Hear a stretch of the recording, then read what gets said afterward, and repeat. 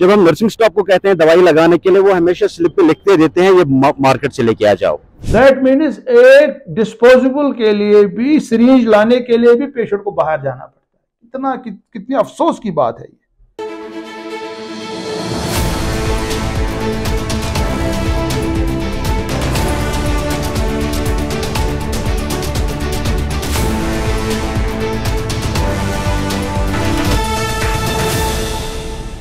नाजरीन अस्सलाम वालेकुम आदाब। इंकशाफ के ताज़ा शुमारे में आपका खैर मकदम है। मैं हूँ आपका मेज़बान डॉक्टर आजा मुजफ्फर भट्ट। आज हम बात करेंगे हमारे हेल्थ सेक्टर के बारे में। सरकार की जो स्कीम्स हैं, बहुत सारी, खासकर जो नेशनल हेल्थ मिशन है, या सरकार ने बाकी बाकी प्रोग्राम्स बनाए, इसके अंडर हमारे जितने भी सरकारी हेल्थ इंस्टीट्यूशन हैं, वहाँ पे जो गरीब पेशेंट है, उनके लिए सरकार जो है मुफ़्त दवाइयाँ फराम करते हैं हमारे हेल्थ इंस्टीट्यूशन में। चाहे डिस्ट्रिक्ट हॉस्पिटल्स हो सब डिस्ट्रिक्ट हॉस्पिटल्स हो मेडिकल कॉलेज के एसोसिएटेड हॉस्पिटल्स हो, या कोई भी जो सरकारी इदारा हो, जो उनके अंडर हॉस्पिटल्स आते हैं।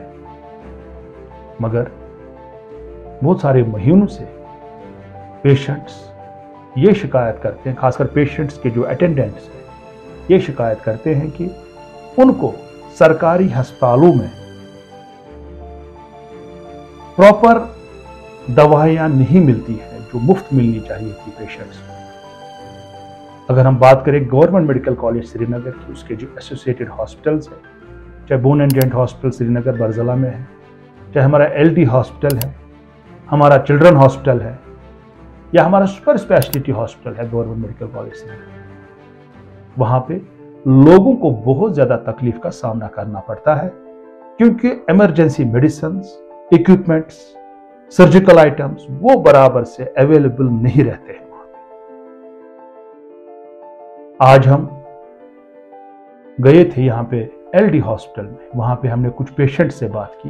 आप पहले उनकी बात सुनिए। साथियों, अस्सलाम वालेकुम। हम इस वक्त गवर्नमेंट एलडी हॉस्पिटल के बाहर खड़े हैं।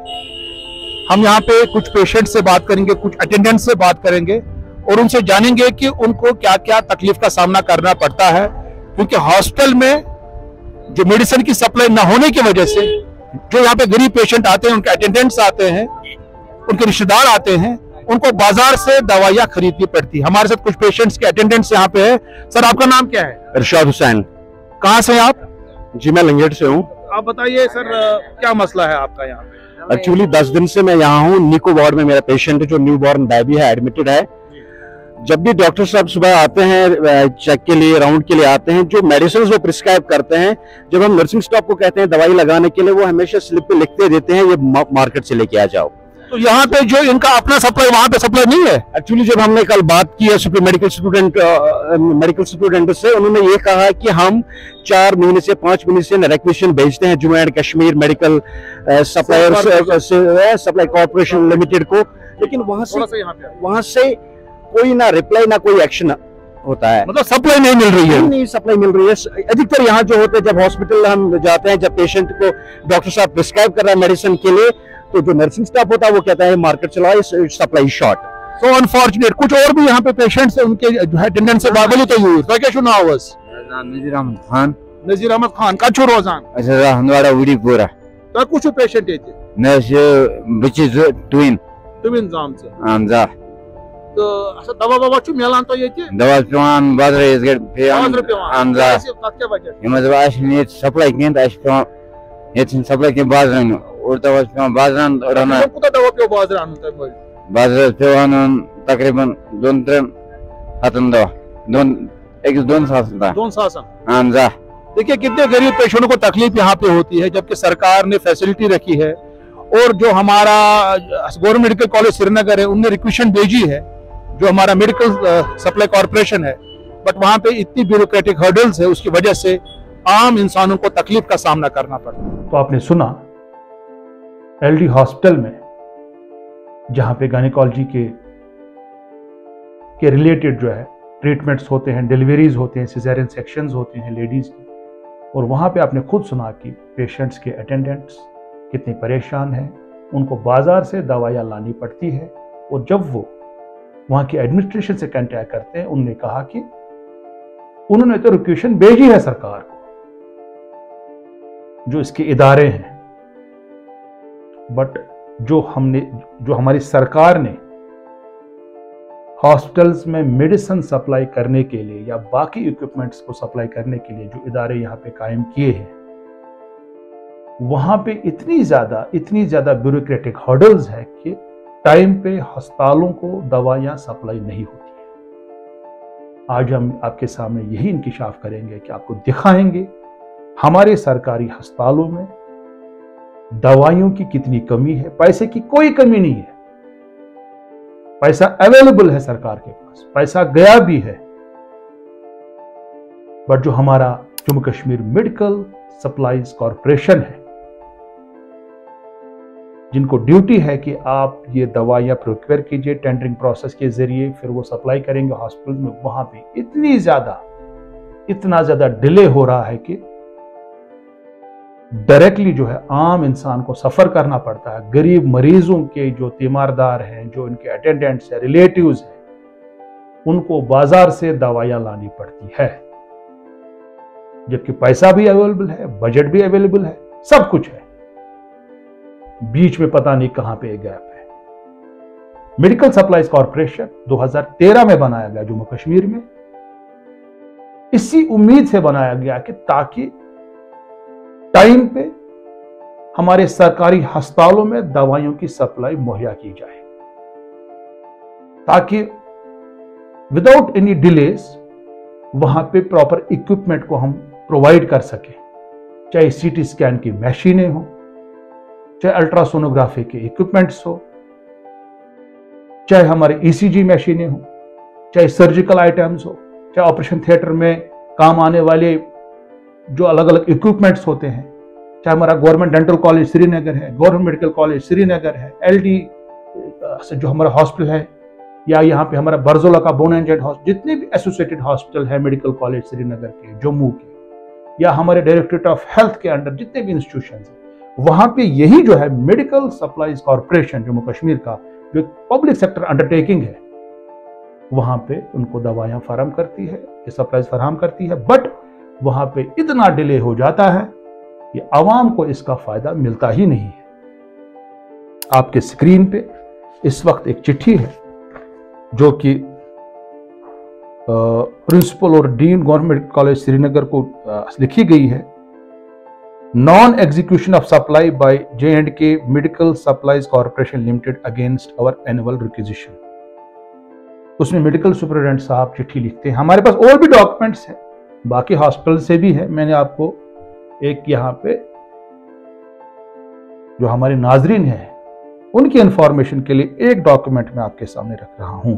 Kindly find enclose herewith list of drugs disposable switchers extra receive from medical officer stores where it has been intimated that majority of the items as projected in our annual requisition have not been executed by JKMSCL, J&K Medical Supplies Corporation Limited till date, while some have been partially executed. कुछ दवाइयाँ इन्होंने भेजी है partially और बहुत सारी दवाइयाँ हमें नहीं मिली है अगस्त 2023 को अगर आप इसका दूसरा वहाँ पे दूसरा पेज देखेंगे इस पे जो है government Lal Ded hospital Srinagar, the incharge drug warehouse GMC Srinagar को चिट्ठी लिखते हैं, पाँच अगस्त को भी ये चिट्ठी लिखते हैं। Annual requisition of drugs disposable for the year 23 24 kindly issue following drug disposable as for our annual requisition for the year 2023-24 void online demand request number 108 32301 and medical superintendent endorsement number this dated 27 January 2023 27 जनवरी 2023 को requisition गई है, जनवरी में कि हमें ये जी, ये दवाइयाँ हमें फराहम की जाएँ। ये incharge drug store medical college Srinagar को चिट्ठी जाती है एलडी हॉस्पिटल के सुपरिटेंडेंट से। जीएमसी श्रीनगर वहाँ से पैसा भी, क्या बोलते, फराहम करते हैं, जे के मेडिकल सप्लाईज कॉरपोरेशन को। आज तक दवाइयाँ नहीं आई। बहुत ही कम 10-15 परसेंट, वो भी मैं आपको बताऊँगा, कितनी दवाइयाँ आई हैं, कितनी नहीं आई है। ये हाल हमारे चिल्ड्रन हॉस्पिटल का भी है, बोन एंड जॉइंट हॉस्पिटल का भी है, सुपर स्पेशलिटी हॉस्पिटल का भी यही हाल है। इसके बाद में सोल्यूशन भी बताऊँगा। बार बार मैं बोलता रहता हूँ, हर प्रोग्राम में बोलता रहता हूँ, ये खाली इंकशाफ नहीं है, इसमें हम सजेशन भी सरकार को देते हैं।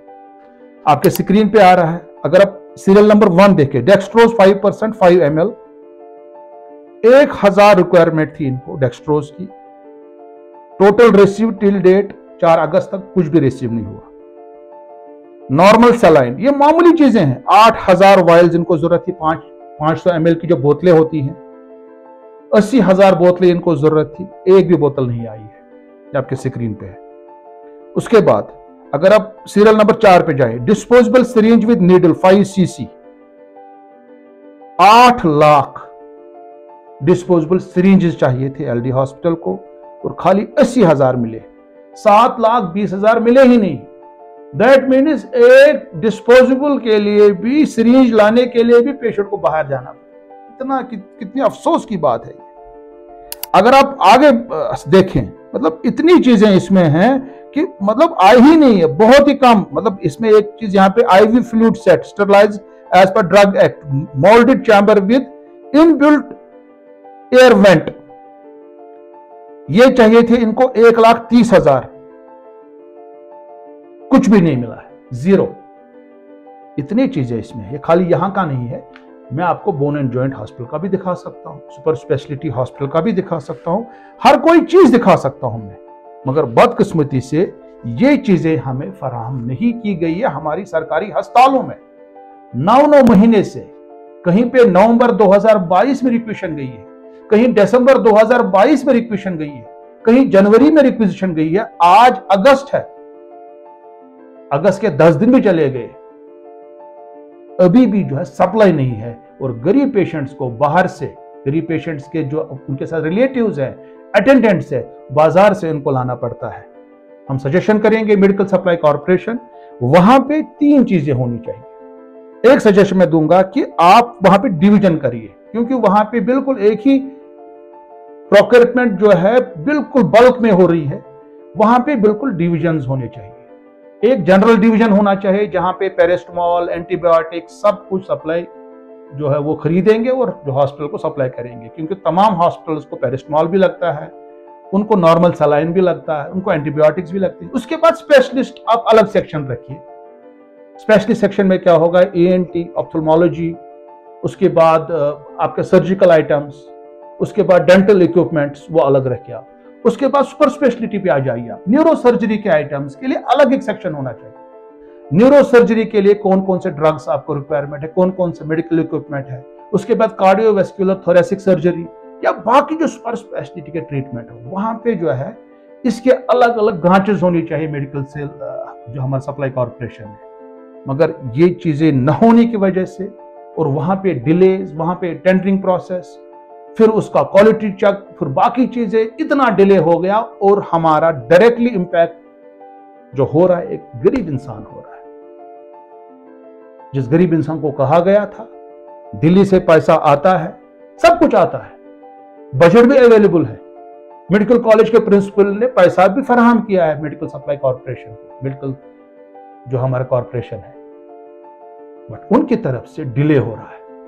मैं चाहूँगा कि सरकार को इसका नोटिस लेना चाहिए और जल्द से जल्द हमारे जितने भी एसोसिएटेड हॉस्पिटल्स हैं या पेरिफेरल हॉस्पिटल्स हैं डिस्ट्रिक्ट हॉस्पिटल्स हैं सब डिस्ट्रिक्ट हॉस्पिटल्स हैं वहाँ पे जो है मेडिसिन की सप्लाई और बाकी इक्विपमेंट जो मेडिकल इक्विपमेंट है, उसकी फरहमी को यकीनी बनाया जाए। अगले इनकी शाफ तक देखते रहिए। कश्मीर ऑब्जर्वर खुदा हाफिज।